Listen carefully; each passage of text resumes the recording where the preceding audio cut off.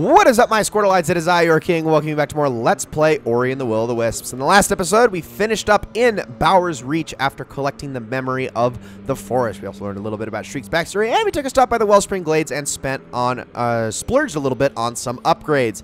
And in this episode, I have fast traveled here to the shrine in the Silent Woods. And we're going to be heading off towards the old ancestral home that uh, Grom talked about that his Gorlek people are from. Now, this so far has been a deathless run. In fact, can I show it here? No, I cannot show it here. It has been a deathless run thus far. I have not died once in this entire Let's Play.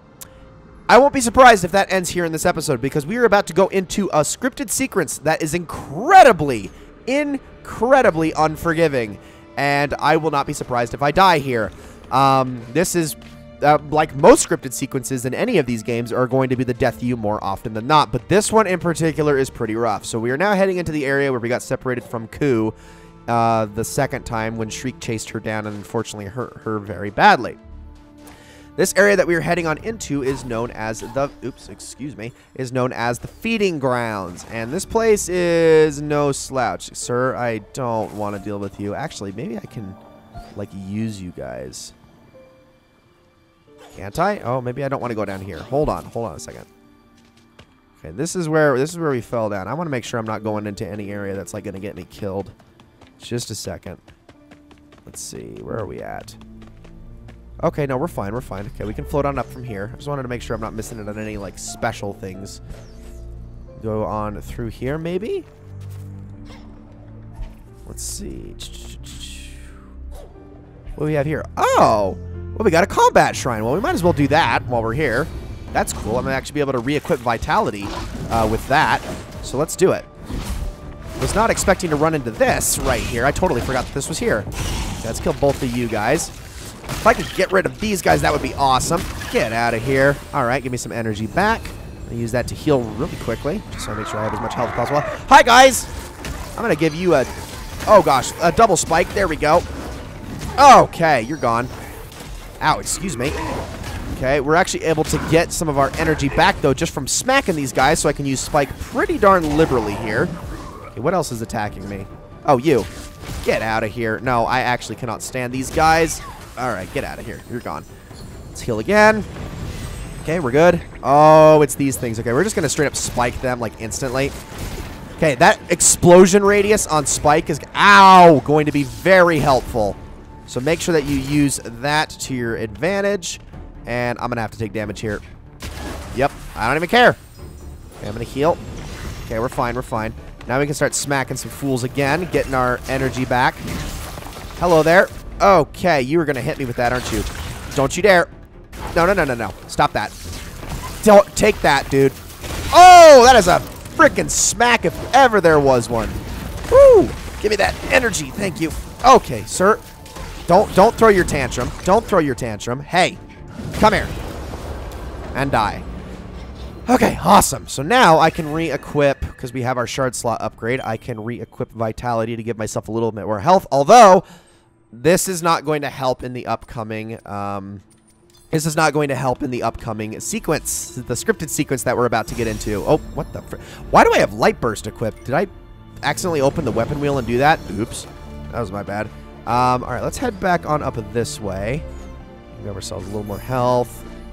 Is there... How do I get up from here? Hold on. Whoop. Heads up.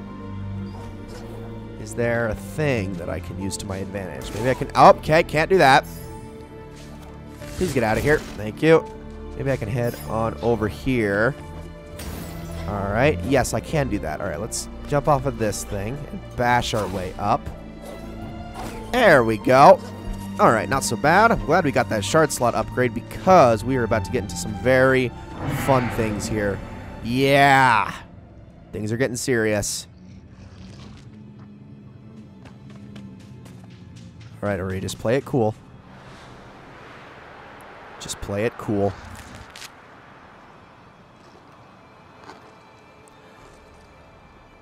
Okay, this is what we in the old school video game world would call a token taker, this kind of area. And you want to know why? It's because you need to know exactly where to go at all times, or you will die. Now, luckily, you don't get sent too far back in a game like this, but you still need to know what you're doing. So now that Shriek is looking away, I'm going to book it. Oh, gosh. Go, go, go. Okay, there we go. If I lose a life here, honestly, I'm not going to be too upset about it because this is the kind of area that will kill you. Okay, go, go, go, go, go, go, go. Up to that thing. Thank you. Oh, my goodness. We're fine. We're fine. Okay. Hi, Shriek. Oh, stay there. Stay. Ori. Ori, stay. Okay, we're fine. Oh, don't do that. Don't do that. Don't do that. Okay, where do I go next? Where do I go next? Okay, we gotta book it. We gotta move. We gotta move. Move, move. Woo! Oh, we made it. Oh, no, it fell on me. Oh, I should have kept dashing. Oh, there it is. The first death of the playthrough. All right, I'm not too mad about that. This area is, it's a rough one. I'm not, I'm not too mad about it. I can live with that. All right, let's keep going. Let's do this again. We have this down now. We know where to go. There we go. Okay, we're good. Hi, Shriek. How you doing? You gonna bump it again? Yes, you are. Okay. Okay. Okay, we need to go. We need to go.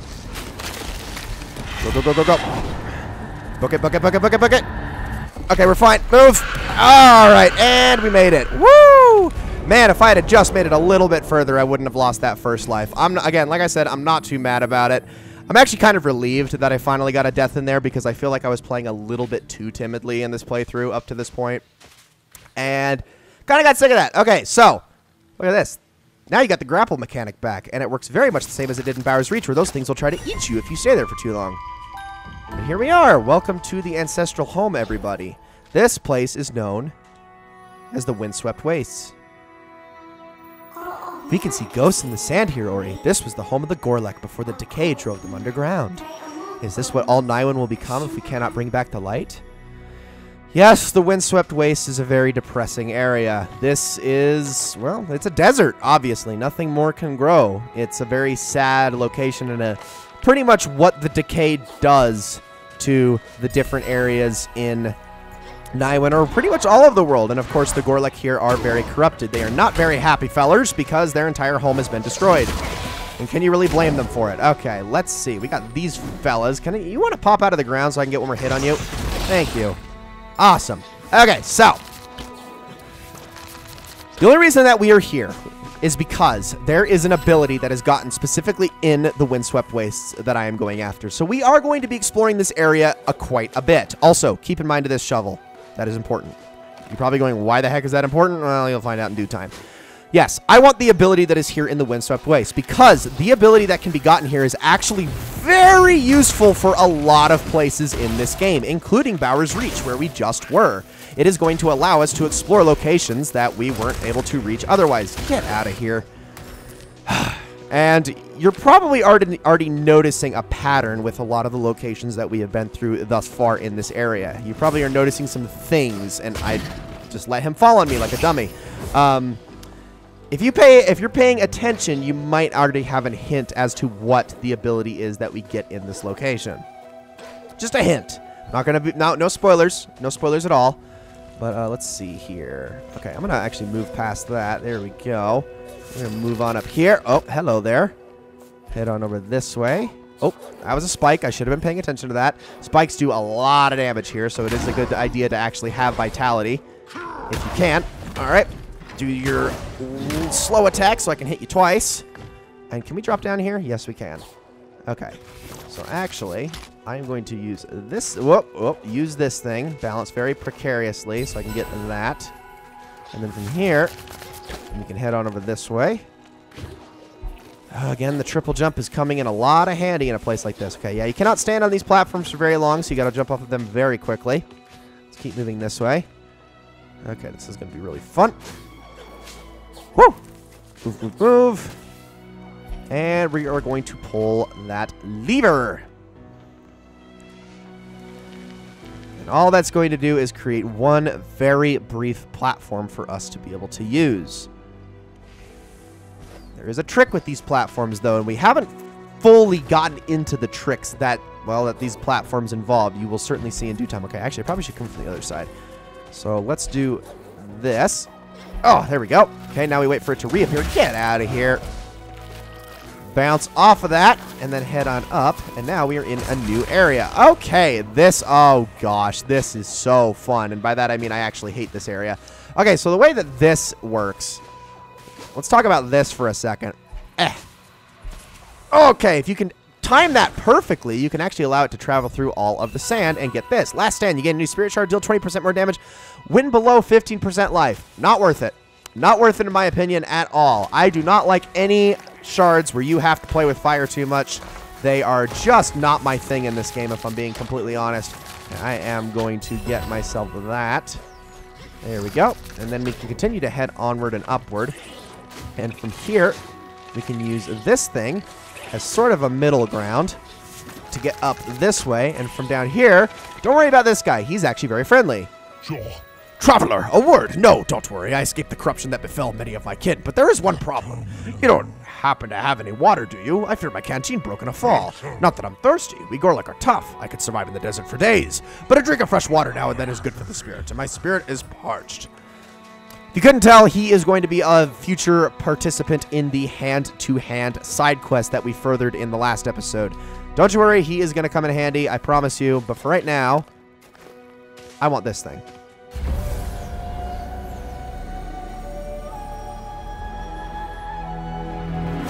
And this, ladies and gentlemen, is all we came for. This is the Burrow ability. Press the right bumper to move through the sand and press it again to dash. This is one of the coolest abilities ever and is incredibly useful in a lot of scenarios. Watch.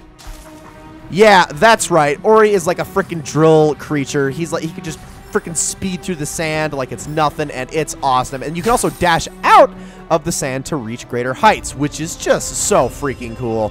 So we actually have a spirit trial here that we can activate. This is all fine and dandy. However, we are done here. We are not going to be doing anything else here in the Windswept Wastes for the time being. All I wanted was this ability, frankly, although I will grab these things since I am in the vicinity and I don't want to backtrack to this specific area too much. So yeah, this is a pretty darn cool ability, and it also, it feels really good. Whenever there is any sand, you can actually dash like directly through it, like so, and use it to get greater height. So I'm actually going to grab this from Lupo. Hello there, weary wanderer. I'm not sure whether spirits need water, but if you do, I'm sorry to say you'll have to look elsewhere. Some may think there's not much to chart in such a barren place, but sands, shifts, uh, sands shift all the time. I can make map after map after map. We are going to purchase this so that we have it for future use, but we are going to spend the remainder of this episode... Well, actually, what time are we at? Oh, gosh. I actually need to call this an episode, don't I? Shoot. Okay, well, I'll tell you what. Let's head back and grab like one or two more things just to fully call this an episode because I, I'm going to feel really bad if like I just call it here because we're going to actually be heading to Baur's Reach next. Also, you can totally attack these guys through the sand now, which is really cool. Every time you dash into them, you do damage. Um, but I'm going to grab a couple more things, and then in the next episode, we'll be returning to Baur's Reach and exploring the remainder of it. So, let's see. I can't do anything with the shovel yet, actually. So let's head on over here. And actually, okay, we got this fellow. Let's head down this way. Let's do this. Yes. Oh, what the? Hey, don't oh, projectile attack me, sir. Okay, do another slow attack. Get out of here. All right, let's go on down this way. And we got this feller. Watch out for him. Make sure you're dashing through him whenever coming to contact with him, like un unlike I just did. Ow. Or make him hit the spikes. That works too. Yeah, don't be too reckless with this ability, as that is an incredibly easy thing to do. Okay, so this is actually where the spirit trial begins. So having to memorize that path is going to be difficult. Okay, here's one thing I can show. So one last mechanic in this area is these things. You can actually have these things that guide you.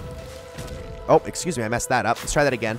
You can, or these things can follow you, and what you can do with them is you can actually bash them places to open up things like that. All right, I know this has been kind of a little bit of a messy introduction to the Windswept Waste, but that is all that I wanted to do because this ability, this was actually the first ability that I ever got after the second encounter with Ku and once all of the like the location of all of the wisps were revealed. This was the first ability I got in my playthrough, and I found it very, very handy for traversing all of the future areas that we're going to be coming into contact with, specifically Baur's Reach and the Luma Pools. So, Ladies and gentlemen, that is going to be it for this episode of Let's Play Ori the Will of the Wisps. I hope you've all enjoyed it very much. In the next episode, I will be meeting you guys back in Baur's Reach, and we will be finishing up that area in its entirety. So, thank you all so very much for watching. I hope you enjoyed this episode very, very much, and I will see you all in the next one.